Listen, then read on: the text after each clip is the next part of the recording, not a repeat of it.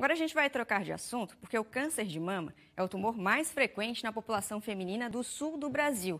Segundo o Instituto Nacional do Câncer, o INCA, são estimados aproximadamente 66 mil casos por ano. E agilizar o diagnóstico é muito importante para o tratamento da doença. Esse, inclusive, é um dos objetivos do Movimento Rosa.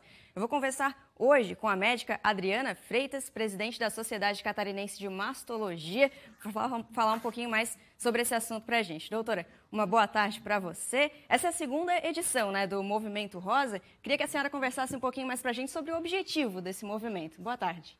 Boa tarde, Ana. O Movimento Rosa é uma campanha que, for, que é em parceria com empresas privadas, cujo objetivo, Ana, é auxiliar o SUS. Então, nós temos o entendimento que o SUS faz bastante pela sua população, entretanto, a gama de doenças é enorme que a gente precisa cuidar. E nesse quesito, o câncer de mama ele tem grandes perdas é, no SUS, porque a gente precisa de agilidade, e alguns tratamentos que não estão disponíveis. E nesse sentido, a paciente ela acaba perdendo.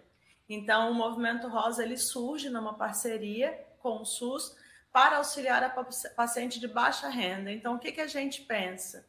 Nós diagnosticamos que a grande carência no nosso estado, no que se refere a câncer de mama, não é mais a mamografia. Nós temos mamógrafo suficiente, mas nós identificamos um grupo de pacientes que estão na fila do SUS com alterações já identificadas no seu exame, ou seja, elas têm uma suspeita de câncer de mama e ficam meses na fila aguardando pela biópsia. Então, uma vez mapeado isso, a gente partiu em direção dessa paciente. É, câncer de mama na Grande Florianópolis é onde tem a maior fila de biópsias, é na Grande Florianópolis, dentro do estado. E nós temos quatro instituições que atendem essa população e a mais carente dessas instituições é o Hospital Regional de São José. Então, nós vamos fornecer material para a realização de biópsias no Hospital Regional de São José. E tem algumas biópsias que são mais complexas, que não são feitas no Hospital Regional, mas que também existem pacientes que precisam dessas biópsias no SUS, que vão ser feitas em parceria com uma clínica privada de Florianópolis, que é a Clínica Imagem.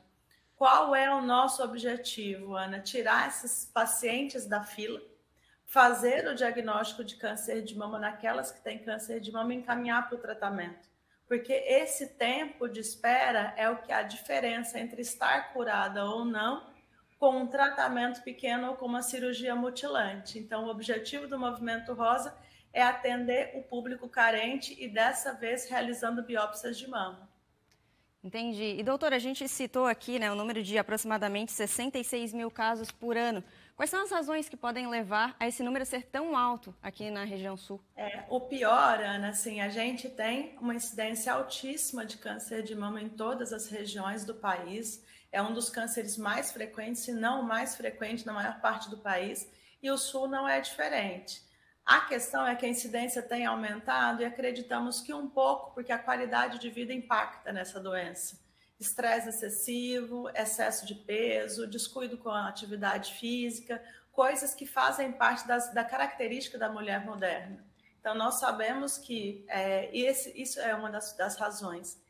E, Ana, mais grave que isso, você falou no número de mais de 60, mulheres com 60 mil mulheres no Brasil com câncer de mama. A pandemia prejudicou muito esse número. Então, o ano passado, apenas 20 mil pacientes foram diagnosticados, o que significa que existem 40 mil pacientes que ainda não fizeram o exame que tem câncer de mama. E ainda que em 2021 a gente tenha conseguido tentar voltar a fazer os exames, nós não recuperamos esse número ainda. Entendi. E esses atendimentos né, que vão ser feitos aqui pelo Movimento Rosa é na região da Grande Florianópolis então, ou atinge o, é... o Brasil, o, a Santa Catarina toda? o hospital regional atende 18, 18 cidades do estado. É, essas pacientes que nós queremos atender são aquelas do SUS, não são pacientes com convênio médico. Então, o que, que a gente fez? A gente foi na fila do SUS. Então, a paciente que foi no posto, procurou atendimento para fazer a biópsia, ela vai ser encaminhada para o hospital regional. E a gente vai agilizar para zerar essa fila de biópsias. Esse é o nosso objetivo, porque o movimento tem duração de seis meses. E por que Grande Florianópolis? Porque é aqui que está a demanda, nós não temos isso nas outras cidades. Então, a gente pretende atender essas pacientes todas e que ao final de seis meses não exista uma paciente na fila esperando pela biópsia. Tá certo, doutora. A gente já está finalizando aqui, eu tenho 30 segundinhos, mas só para relembrar os cuidados de prevenção, né? Então, sempre procurar um médico e fazer os exames de rotina é sempre importante. Sempre. Mamografia uma vez por ano a partir dos 40 anos.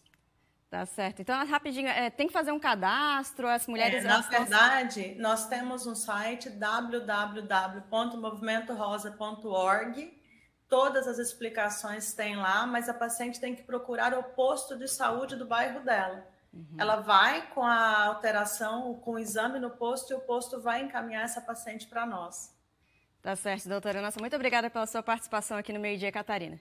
Nós que agradecemos. Obrigada pelo espaço. Obrigada. Bom.